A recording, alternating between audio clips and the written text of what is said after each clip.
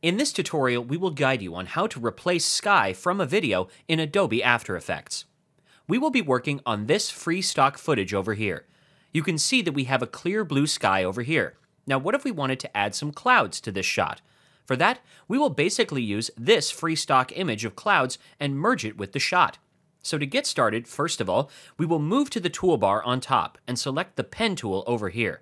We will use the pen tool to mask out the sky from the footage. Make sure the video layer is selected. And now let's zoom in the footage and draw a path of the sky using the pen tool. Be careful while drawing a path around the boat. You would want to exclude each and every part of the boat, or whatever object you have on your footage, and therefore you can even work with multiple masks. For example, over here you have a bit of the background showing over here.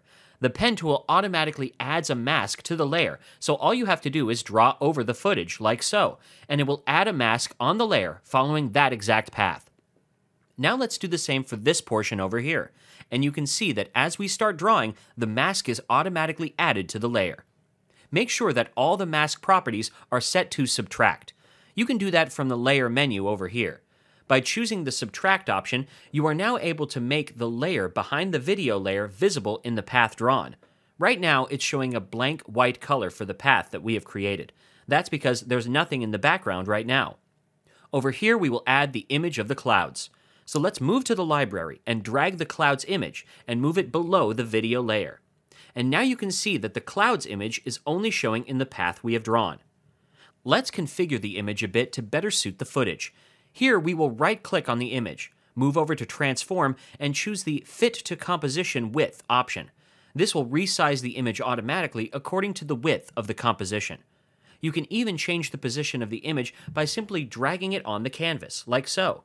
Or you can even expand the layer menu, open up the transform options, and change the position using these values over here. As you change the values, you can check out the output in real time. Once done, let's render the sequence, and here you can see that we have successfully added clouds to this footage. Thanks for watching. This was a HowTech.tv tutorial.